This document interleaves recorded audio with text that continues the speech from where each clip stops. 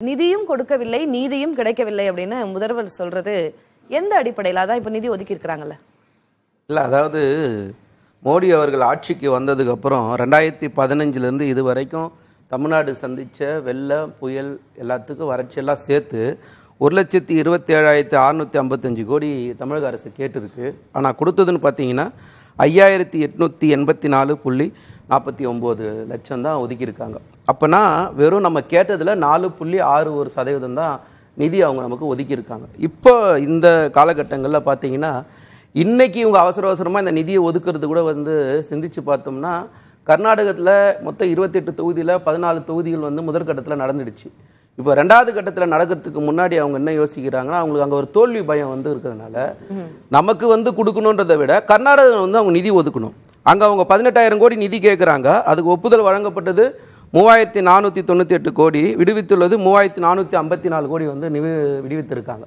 அப்படின்னா என்ன அவங்களுக்கு அவசியம்னா ஒரு படத்தில் கவுண்டமணி சொல்லுவார்ல இந்த பக்கம் பூசின மாதிரி இருக்கணும் இந்த பக்கம் பூசாத மாதிரி இருக்கணும் ஆனால் ரெண்டுமே செஞ்ச மாதிரி இருக்கணும்னு சொல்லுவார் பாருங்க. அந்த மாதிரி இப்போ அவங்களுக்கு என்னன்னா தேர்தல் நேரத்தில் நேரடியாக தமிழ்நாட்டு கர்நாடகா கொடுக்க முடியாது. எலெக்ஷன்ஸ் முடிஞ்சிருச்சுல்ல கர்நாடகாவுல? முதல் கட்டம் முடிஞ்சிடுச்சு. ரெண்டாவது கட்டம் ஏழாம் தேதி இருக்குல்ல. அப்ப நீங்க அதுக்கான தே- வியூகமா தான் இதை நம்ம பாக்குறோம். ஏன்னா இப்ப கர்நாடக அரசும் வழக்கு போட்டிருக்காங்க. நாமளும் வந்து வழக்கு போட்டிருக்கோம். இந்த வழக்கோட அடிப்படையில தான் இன்னைக்கு கொடுக்குறாங்களே தவிர நான் கேட்குறேன் மழை வெள்ளம் வந்து அஞ்சு மாசம் கழிச்சு கொடுக்கறத காலதாமதம் ஒன்று இருக்குல்ல. ரெண்டாவது நீங்க கொடுக்கறது ஒரு சதவீதம் கூட இல்லை. நம்ம கேட்கறது முப்பத்தி எட்டாயிரம் கோடி. நீங்க வந்து இப்போ ஒதுக்கி இருக்கிறது இரநூத்தி எண்பத்தஞ்சு கோடி. அதுல விடுவிச்சதுன்னு பார்த்தீங்கன்னா நூற்றி பதினஞ்சு கோடி. மிக்ஜாம் புயலுக்கு. அதே தென் மாவட்டங்களுக்கு பார்க்கும்போது முந்நூற்றி தொண்ணூற்றி ஏழு கோடி வந்து ஒத்துக்கிறது. நீங்கள் நூற்றி அறுபது கோடி தான் இன்னைக்கு விடுவிச்சிருக்கீங்க. ஆனால் காரணம்னு ஒன்று இருக்குல்ல? இந்த காரணம் இந்த அஞ்சு மாதத்துக்கு கழித்து கொடுக்கறது இன்றைக்கி இருக்கிற தேர்தல் காலகட்டங்களில் நேரடியாக மக்களை போய் சந்திக்க முடியல மோடியால். நீங்கள் இன்றைக்கின்னு இல்லை மேடம் நீங்கள் வெளிப்படையாக ஒரு விஷயத்தை பாருங்களேன். எப்போ நிதி ஒதுக்குனாலும் நம்ம எப்பயும் சொல்கிற ஒரு விஷயம் திரும்ப ஞாபகப்படுத்துகிறேன் தாக்டே புயல் வரும்போது குஜராத்தில் குஜராத் மக்கள் பாதிக்கப்பட்டாங்கன்னு சொல்லி ஓடி போய் பார்த்த மோடி அவர்கள் அன்னைக்கு கொடுத்த நிதி வந்து ஆயிரம் கோடி நிதி கொடுக்குறாரு. நான் நான் நீங்க என்ன சொல்ல வரீங்க எனக்கு புரியுறது நான் இப்ப இந்த கேள்வியை கேட்டுறேன். முதல் கட்ட எலெக்ஷன் முடிஞ்சிருக்கு. இப்ப இரண்டாவது கட்ட எலெக்ஷன் அங்க நடந்துகிட்டு இருக்கு. இப்ப அதுல ஓரளவுக்கு பெர்ஃபார்ம் பண்ணணும் அப்படிங்கிறதுக்காக இந்த போன்ற நிதி ஒதுக்குறார்கள் அப்படின்னு சொல்ல வரீங்களா? நிச்சயமா தானே உண்மை. அப்படின்னா நிதர்சனமான உண்மை. முன்னாடியே கொடுத்துருந்துக்கலாம்ல எல்லா எலெக்ஷன் ஸ்டார்ட் ஆகிறதுக்கு முன்னாடியே கொடுத்துருந்துருப்பாங்கல்ல மத்திய அரசு அதாவது வந்து. மோடியை பொறுத்த வரைக்கும் என்னன்னா முதல்ல அவர் என்ன சொன்னாரு? நானூறு தொகுதி ஜெயிப்பேன்னு சொன்னார். அதுக்கப்புறம் இப்போ அவரே நானூறு தொகுதின்னு சொல்றது கிடையாது. கூட்டணியோட சேர்த்து முந்நூறு தொகுதின்னு வந்துட்டார். இப்போ அவருக்கு என்னன்னா மக்கள் ஓட்டு போட ஓட்டு போட அவருக்கு வந்து அந்த பயம் வருது.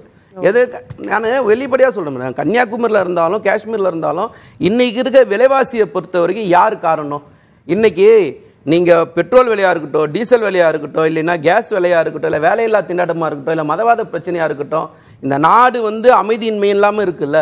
நீங்கள் போய் பார்த்தீங்கன்னா இன்றைக்கி மணிப்பூர் பிரச்சனையிலேருந்து ஹரியானா பிரச்சனையிலேருந்து இன்னைக்கு ஒவ்வொரு பிரச்சனைகளுக்கும் இந்த பிரதமர் மோடி அவர்கள் எங்கேயாவது வெளிப்படையாக பேச தயாராக இருக்காரா?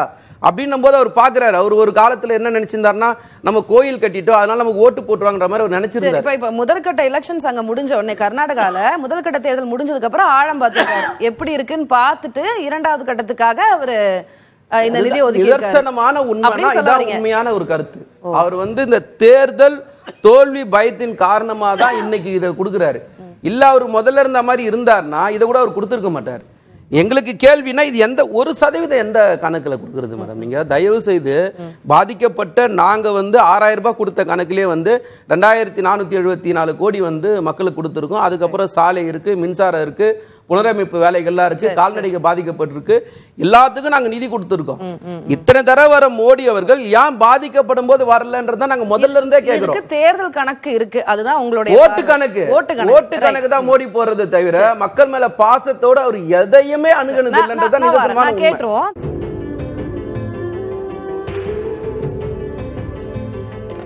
வெண்மையின் அடையாளம் உலாமா லுங்கீஸ் வெஸ்ட்ஸ்